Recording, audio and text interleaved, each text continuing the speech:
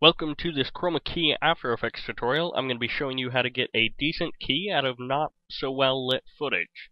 So, go ahead and grab poorly lit and then the background and drag those into the project palette. And all three of those clips are available in the download link below the description.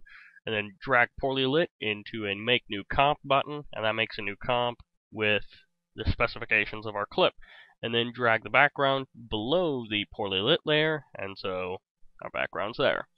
So first thing that we're going to do is apply the curves color correction preset and then just brighten up the image and you can do this with levels as well and then go and search for color key and apply that apply that and I'm just going to collapse curves and then just choose a color from the background for color key increase the tolerance to say 19 anywhere from 10 to 25 is usually pretty good depending on your clip.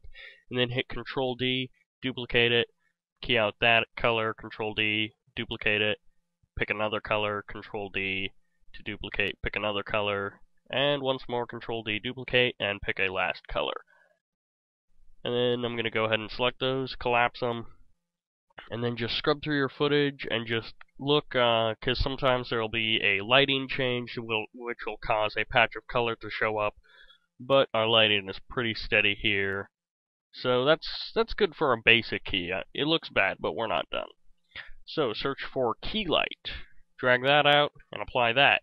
Then go ahead and disable the color keys and re and then color pick a color from the background and then re-enable the color keys. And the reason why we applied these five color keys is because Keylight can be slow to render. So depending on how much footage you have or what kind of a computer you have, it can be faster to apply a couple of color keys and then apply Keylight because now Keylight only has to key out this little bit of green that's left. So first thing that we're going to do is for this clip bring the screen balance down and depending on what clip you have you might want to bring it up or down just play around with it and then bring the screen blur up to about 3. That'll smooth out the edges. And then go to screen matte. And actually, before we do this, let's switch to from our view, from final result to screen matte. So this will show anything that's black is transparent and anything that's white is opaque. And then the gray is in between completely transparent and completely opaque. So we're just going to increase the screen gain until all of the gray in the background goes away, and we do have some gray here, but we're going to deal with that in a minute. So scrub through your footage really quickly and just make sure that you eliminate the, the gray in the background. And then let's go ahead and take care of the gray that's in my shirt. And we'll do that by just clipping the white, just bringing it down a little bit. And that should be about good. Again, with your clip, depending on if you're using this footage or not, you may need to clip the black. And then let's switch to final result, and as you can see, as far as cutting out away from my body, cutting the background out of out of here, it's doing a pretty good job. And now let's just, we're going to fix a couple of things. You can see we're getting some pixel issues down here with my pants. So one thing that we're going to do is change the replace method from soft color to source. And for your clip, you may want to use hard color. It just depends.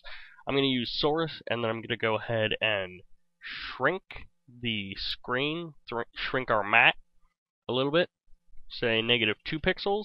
And as you can see, that just cleans up our edges. And then we're going to do one last thing. We're going to apply a spill suppressor. So what this does is it just removes a certain color from your image. So just go ahead, select a green, and as you can see it pulls the green out. And now, if I turn it off, you can kind of see in my shirt and in my pants, it's kind of green tinted. Turn it on, and it's back to the normal colors that they should be.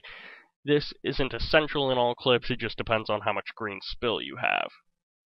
And that is how to get a pretty decent key out of some poorly lit footage.